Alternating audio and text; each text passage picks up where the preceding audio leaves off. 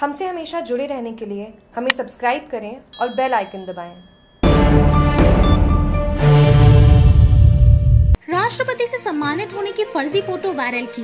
Police ने पकड़ा, Finland के राजदूत की जगह एडिट करके लगाई अपनी फ़ोटो। महानगर के मथानिया थाना क्षेत्र में रहने वाले एक युवक ने राष्ट्रपति रामनाथ कोविंद से सम्मानित होने की फर्जी फ़ोटो को सोशल मीडिया पर वायरल कर दिया।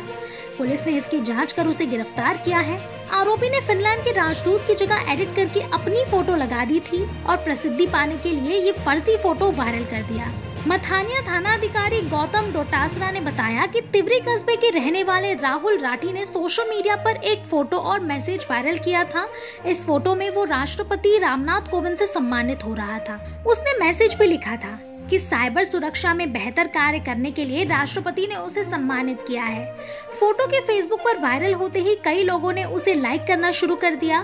बाद में पता लगा कि ये फ़ोटो फर्जी तरीके से बनाकर चस्पा की गई है। पुलिस जाँच में सामने आया कि फिनलैंड के राजदूत रवीश कुमार और रामनाथ कोविंद की मुलाकात असली फ़ोटो कुछ दिन पूर्व वायरल हुई। ये फ़ोटो राष्ट्रपति ने खुद अपने ट्विटर पर भी शेयर की थी। उस फ़ोटो में से राजदूत रवीश कुमार की फ़ोटो को हटाकर राहुल ने खुद की फ़ोटो लगा दी थी और उसे सोशल मीडिया पर वायरल कर दिया, जिसके बाद पुलिस ने आज गिरफ़्तार कर लिया गया। उससे पूछताछ की जा रही है। दिनांक नौ तारीख को। राष्ट्रपति महोदय के साथ अपने पुरस्कार लेते हुए फ़ोटो फेसबुक पोस्ट की। इसके संबंध में अखबार में न्यूज़ आई, लोगों ने लाइक किए। बाद में ध्यान पड़ा लोगों को ये, इसकी एडिटिंग की हुई फ़ोटो है, जिस पर लोगों में आक्रोश था।